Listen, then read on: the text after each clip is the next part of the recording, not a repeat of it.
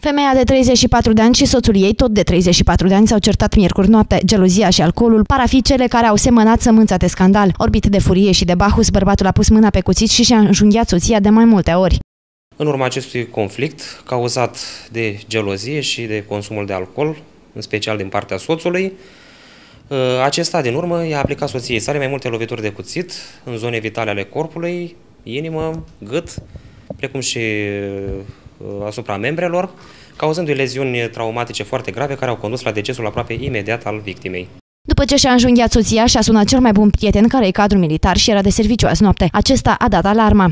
Mi-a dat Cristi telefon, că i-a dat el telefon lui Cristi, lui Ficiorne.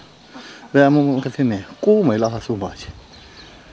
Păi băi, așa sună că eu am o femeie. Cum? Am tăiat cei de la ambulanță au declarat decesul femeii, iar ancheta a fost preluată de procuror. În sat oamenii spun că femeia de 34 de ani mai fusese bătută de soțul ei, însă de fiecare dată și-a retras plângerea și s-a întors la el. O bătea rău ăsta și la mine o săptămână de zile. De ce? S-a refugiat aici? Da. Era, avea fata 3 săptămâni, era gravid. Și de ce o bătea? De gelozie. Și la 4 fără, 2, 4 fără 25 m-am trezit cu mama ei la ușă, bătută măr, mâna ruptă, mama fietii care a murit, e de la deliri, bătut, bătut în măr. Și eu dormeam cu soțul și cu fata în casă, văleu, văleu, văleu, văleu. Ce vrei, ce-i păță? Daniela, dă drumul, dă drumul. Eu am dat drumul la ușă, când am văzut era bătut. Și dă telefon la 112 să vie poliția să le iei că Daniel mi omoară fata și mi omoară fata. Soțul eu nu vreau să dea telefon, ci vrei, nu-ți dau, pentru că ea și-a tras plângerea de te ori. A luat-o poliția, a dus-o undeva la o la Delenia, s-a întors înapoi. Era foarte sărac, n-avea unde trage, ca să știți era sărac, nu avea unde să trage. Că poliția a venit de vreo două turi, acum vreo două săptămâni în urmă, cum a avut vreo două bătăi înainte.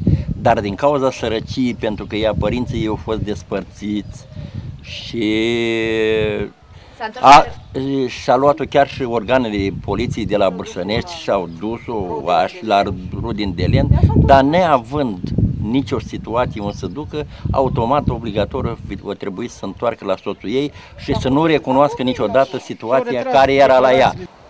Era o fată cu minte, el... El am înțeles că era tare rău când bea. Când nu bea, era băiat bun. Cam periculos. Periculos când bea? Se certa, s-a mai certat și cu vecinii, eu știu, cu oamenii prin sat. Și pe drum, dacă se întâlnea cu cineva, s-a agațat de el. Acum acasă au rămas cei doi copii, o fetiță de un an și cinci luni și un băiat de patru ani și șapte luni. Peste noapte micuții au fost vegheați de nașii de cununie ai părinților. Joi dimineață, printr-o declarație dată în fața autorităților locale și a specialiștilor de la DGASPC, bunica paternă și-a asumat responsabilitatea creșterii și îngrijirii copiilor. Se purta rău și cu mine. Copiii trăiesc eu câte zile ai avea, că nu ia statul. Că la măsa n-are nicio condiție. Reprezentanții Direcției Generale de Asistență Socială și Protecția Copilului spun că, deoarece băiețelul a fost martor al crimei, se impune intervenția imediată a unui psiholog pentru consilierea copilului în vederea depășirii traumei. În tot acest timp, soțul femeii a fost audiat și reținut pentru 24 de ore, iar procurorii vor cere pentru el arestarea preventivă. Dacă va fi găsit vinovat, va sta după gratii 25 de ani și asta pentru că pedepsa de 20 de ani pentru omor va fi mărită cu încă un sfert pentru că e vorba și de o violență domestică.